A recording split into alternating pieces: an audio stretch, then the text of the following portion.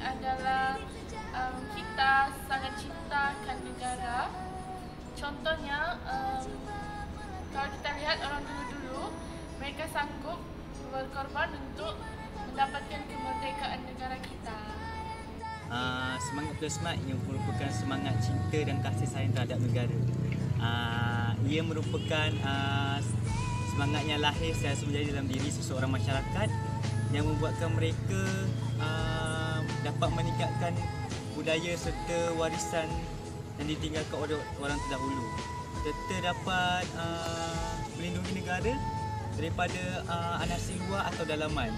Semangat terus merupakan semangat kita akan negara. Kita akan negara. Kita harus menghormati pihak kerajaan uh, dengan tidak melakukan perkara yang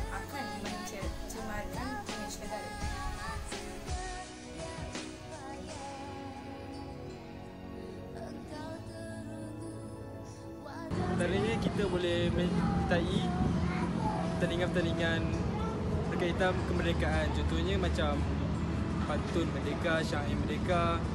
Yang tu selalunya dianjurkan oleh pihak-pihak tertentu. Ini berpakaian dengan baju bertanda gemilang itu melambangkan kecintaan negara.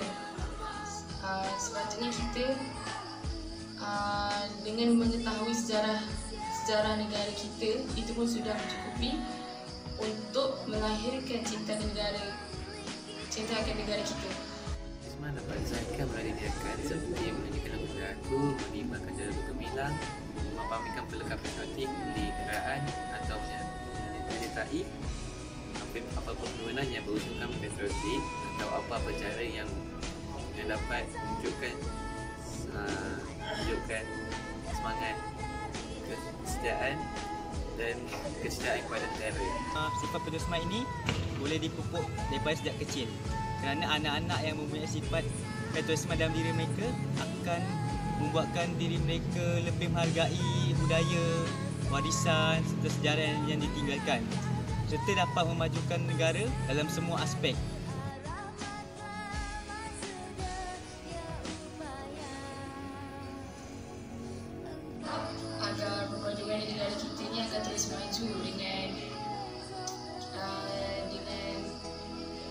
Bersama dengan hidup yang terpadu di mana di Malaysia ni kita hidup uh, dalam membilang kaum di mana uh, seperti Cina, India dan Melayu.